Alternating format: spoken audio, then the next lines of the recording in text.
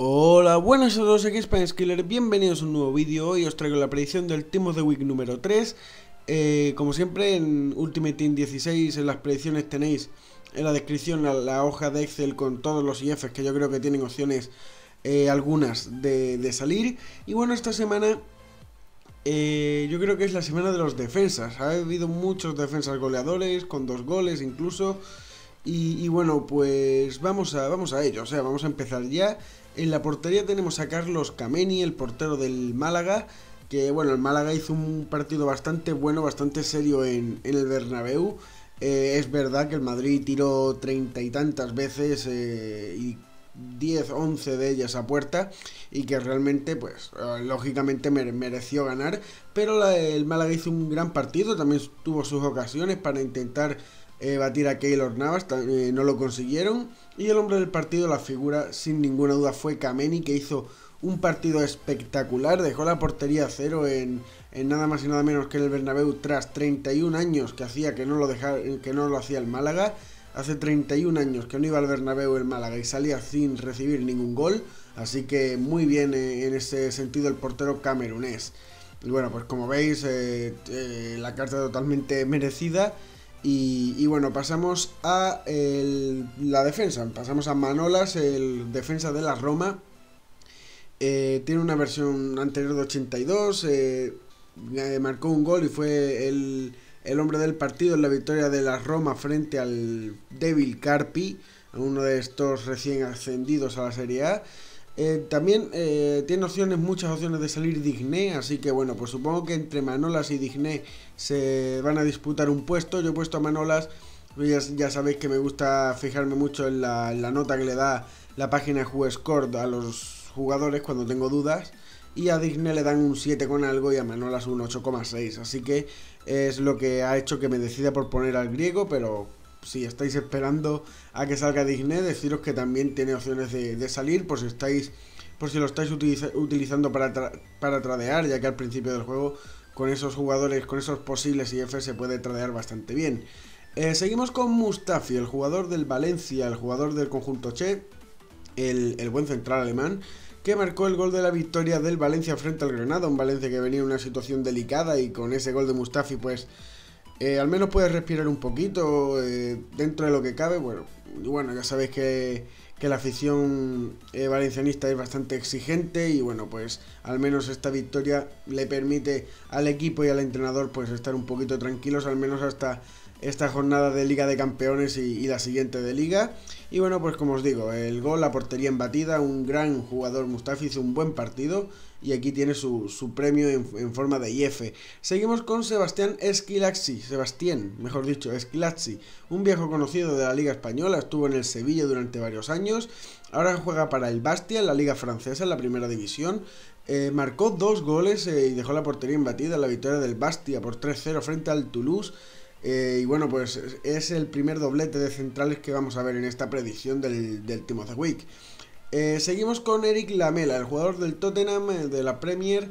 tiene una versión anterior de 79, hizo gol de asistencia y fue el hombre del partido en la, paliza sorprendente del Tottenham frente al Manchester City, el conjunto de Pellegrini que hace, que hace dos semanas era el líder indiscutible e invicto de la Premier y ahora mismo ya es segundo clasificado, el nuevo líder es el Manchester United y bueno, pues eh, parte de culpa la tiene el argentino Lamela, que hizo, como os digo, un gol y una asistencia. También puede salir eh, cualquiera de los dos centrales del Tottenham tienen opciones, tanto Dier como Alderweireld. Pero como hay tantos centrales goleadores y defensas goleadores esta semana, pues he decidido poner a Lamela y por eso, y por eso he dejado a los eh, dos defensas fuera. seguimos con Cathry, el jugador del Girondins de Burdeos de, de la Liga 1 tiene la versión, una versión anterior de 79 de media. Eh, marcó un gol y dio dos asistencias. Eh, lógicamente también fue el hombre del partido en la victoria del Girondins por tres goles a uno frente al Olympique de Lyon. El Lyon que desde que se desde que se lesionó Fekir, la verdad que ha bajado bastante el rendimiento. Era un jugador muy importante. Para los que no sepáis, Fekir en el avistoso entre Francia y Portugal se lesionó lo de las rodillas y se supone que va a estar, pues, si no toda la temporada, casi toda la temporada de de baja, con lo cual es un varapalo muy muy duro para, para el Lyon, ya que es, es, un, es la estrella del equipo, o sea, es, casi el mayor responsable, yo incluso diría que, en cuanto a influencia en el juego es más importante incluso que la cacete, que es el que un poco marca más goles y tal, pero, pero yo creo que, es más influyente y más importante para el Lyon, bastante más eh, Fekir que la cacete y lo están notando bastante. Seguimos con eh, Atem el jugador del Niza, el ex jugador del Newcastle, el Skiller, un jugador que tiene 5 estrellas de filigranas y bueno, marcó dos goles y fue el hombre del partido jugando con 9 el, el Niza. Es cierto que esta estadística está un poco sacada de contexto, ya que cuando eh, cobró ventaja el equipo de, del Niza, eh, no sé si estaban todavía los 11 contra 11 o 11 contra 10. Luego ya en la segunda parte, con un resultado de 1-3 o 1-4, le expulsaron a otro y se quedaron con 9. Así que bueno, pues es un poco eso. Un poco engañoso, pero sí que es verdad que, que acabaron ganando 1-4 al San Etienne, que es un buen equipo de la liga francesa y jugando con dos jugadores menos. Eh, y como veis, pues las 5 estrellas de filigranas y las 3 de pierna mala para, para Benarfa. Eh, seguimos, Alexis Sánchez, una de las estrellas de este Team of the Week, el jugador del Arsenal, el chileno. Eh, tiene una versión anterior de 86, que es extremo, de, extremo izquierdo también este año. Este año lo han cambiado de, banda. Marcó un hat-trick en la victoria del Arsenal frente al conjunto revelación de la Premier en lo que va de, de temporada, que es el Leicester. Ahora mismo con esta derrota no sé dónde cae exactamente el equipo de, de Ranieri, que creo que la semana que viene además va, a visitar al Chelsea en Stamford Bridge. Y bueno, pues Alexis, 4 estrellas de filigranas, 3 de pierna mala. Y como digo, pues Leicester, que es un equipo revelación, se llevó un serio correctivo del conjunto Gunner. Eh, vamos ahora con un jugador de hoy lunes, el delantero del Everton, Romelu Lukaku, el eh, como os digo, delantero belga de, del Everton de la Premier, eh, tiene una, versión anterior de 80 de media, marcó dos goles y una asistencia a la victoria, como os digo, de hoy lunes, eh, del Everton en, el campo del West Brom, que ahora mismo no recuerdo cómo se llama exactamente, pero, pero bueno, el campo del West, del West Brom, frente al conjunto de, de Tony Pulis, y bueno, tres estrellas de filigranas y cuatro de pierna mala para el belga. Eh, vamos ahora con Kevin Volland, el jugador del Hoffenheim de la Bundesliga. Como veis, eh, saldría delantero centro, la versión normal es medio derecho, así que sería un, cambio de posición que, no, que vendría bastante bien, ya que en la Bundesliga, ahora, bueno, ahora con Aubameyang sí que hay algún, alguna opción más, pero, pero no, no, es la posición que más, que más destaca en la liga alemana. Y bueno, pues un jugador, fijaos que, que tiene varias estadísticas por encima de 80, quitando la defensa, pues todo lo tiene 80 o, más, o, o rozándolo como, como poco eh, ese pase. Y bueno, pues dos goles de asistencia en la victoria de, del Hoffenheim en campo del Augsburgo.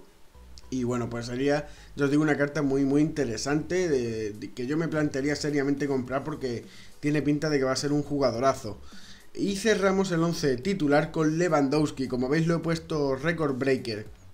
Eh, y ahora os lo voy a comentar. Delantero polaco, Bayern de Múnich, versión anterior de 87.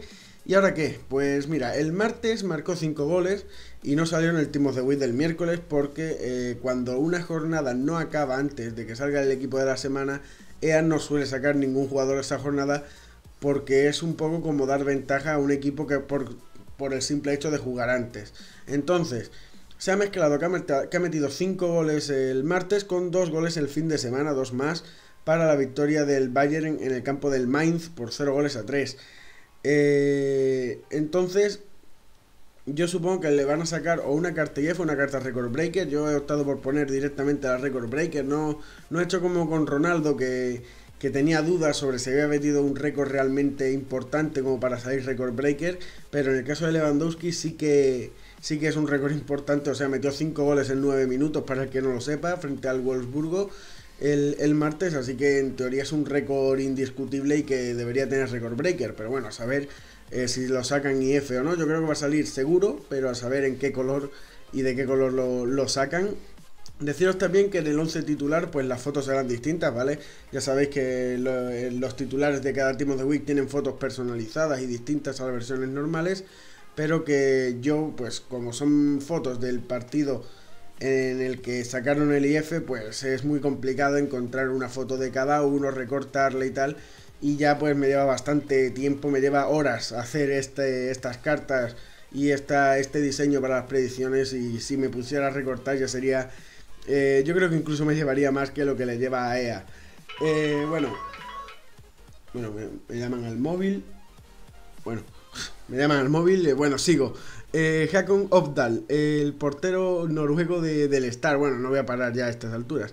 el portero de la Tipe Ligaen, tiene una versión anterior de 69 y marcó un gol, ojo, marcó un gol frente al Valerenga, que es un equipo más o menos potente en la liga noruega. Y eso, marcó un gol, pero no fue el típico gol de subir al final del partido y marcar de cabeza en un córner o lo que sea, fue un gol desde el centro del campo en una falta que no fue un golazo, o sea, se la traga clarísimamente el portero del Valerenga. Pero bueno, cuando un portero marca un gol, yo creo que es motivo suficiente para que salga IF. Seguimos con eh, Christopher Julian, el jugador de Dijon, del Dijon de la Liga 2, de la segunda división francesa. Tiene una versión anterior de 65 e hizo doblete, como veis, otro defensa con doblete. En la victoria del Dijon frente a Laval eh, por dos goles a cero, dos estrellas de filigranas y tres de pierna mala para el francés. Eh, seguimos con Carlos Henao, el jugador del central de Patriotas de la Liga Postobón, de la Liga Águila. No sé, en el FIFA sale como Liga Postobón, pero creo que cambió de patrocinador y ahora se llama Liga Águila. Eh, si hay algún colombiano, pues me lo puede decir como siempre en los comentarios, alguien que la siga, porque sé que estas predicciones pues la ven mucha gente de Sudamérica, de México, así que bueno, pues me, ponéis en los comentarios y como siempre me podéis, bueno, como siempre me dan son los que realmente casi más participan dando su opinión de jugadores y tal, así que bueno, pues participar también en esta ocasión. Eh, tiene una versión anterior de 61 al central y marcó dos goles también eh, en AO, uno de ellos de penalti en la victoria de Patriotas frente a Independiente de Medellín. Dos estrellas de filigranas y tres de pierna mala para el colombiano. Eh, seguimos con Lucas Zufi, el jugador del Basel de la, Super, de la Superliga, de la Raiffeisen Super League de la Liga Suiza. Versión anterior de 71, un, MCO que realmente es un MC en su versión normal. Dos goles y asistencia, la victoria del Basel frente al Lugano por tres tantos a uno. Eh, seguimos con eh, Zil Larín, supongo que se dirá Zil o Zail, no sé. Bueno, el caso, este jugador Larín juega en el Orlando City, en el equipo de Kaká. Tiene una versión anterior de 66 y marcó un hat-trick en la victoria de el Orlando City eh, frente al New York Red Bulls eh, por dos goles a cinco. Eh, vamos ahora con Kalinic, estamos ya casi terminando, el jugador de la Fiorentina de la Serie A, tiene una versión anterior de 74. Para los que no lo sepáis todavía, cuando un jugador tiene una versión de 74 y no tiene IFs, el primer IF o la primera versión, ya sea IF, manos de match, TOTS o lo que sea, es de 74 mejorada a la versión normal. O sea, aunque tenga la misma media, tiene mejores estadísticas que la versión normal.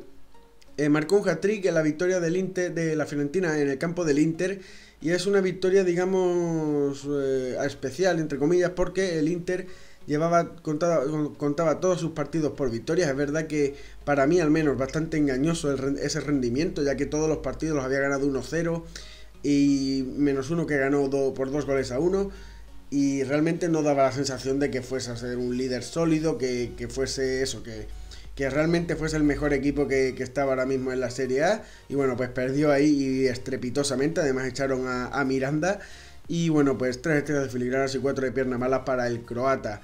Y cerramos eh, la predicción con Jonathan Soriano, el jugador del Red Bull Salzburgo de la Bundesliga austríaca, que eh, pues cada año se empeña en sacarle dos o tres IF, sacarle un manos de match, sacarle una carta héroe, sacarle un touch y al año siguiente bajarle de media descaradamente y de ritmo.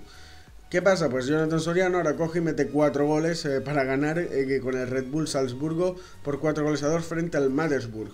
Y este año pues pasará lo mismo, tendrá dos o tres cartas IFs, eh, una carta manos de match, otra héroe, otra tal, un touch y el año que viene pues será de plata o algo. Entonces pues no sé, no sé esa lógica de a cómo va, pero bueno, el caso es que se lo llevan haciendo a Jonathan Soriano durante mucho tiempo, un jugador que si yo lo tuviera delante eh, para preguntarle algo, le preguntaría, entre otras cosas, ¿es eso? Si en caso de que juegue al FIFA, preguntarle si le parece justo lo que le hace ella.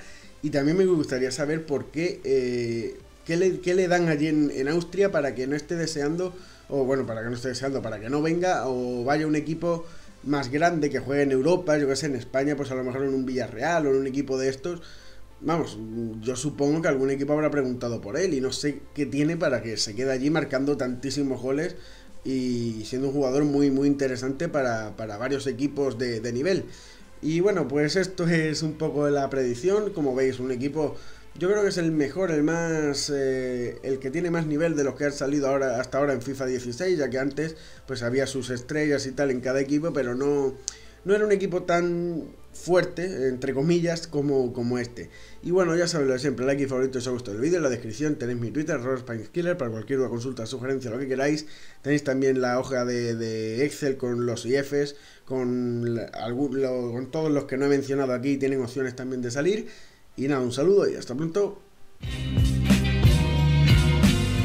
Spain Skiller, fútbol de alto calibre. Voy a jugar hasta agujerear los calcetines. Esto es FIFA de verdad, sin cheerleaders. Un canal con predicciones que toma decisiones impredecibles. Me pongo sensible cuando pienso en el Cádiz, su afición. Lo que juegues mañana será canción. Como Ronaldinho ganándose la ovación. Me la saco en cada vídeo porque no hay competición. Yo te escribo canciones de amor cada vez que tú saltas al campo y me marcas un gol. Le pongo a mi vida color con tu compañía, con Y además los mejores torneos, no solo del FIFA, también del NBA 2K. Suscríbete para más vídeos como este, hermanito. Nos vemos en la siguiente. Te lo cuenta el plan.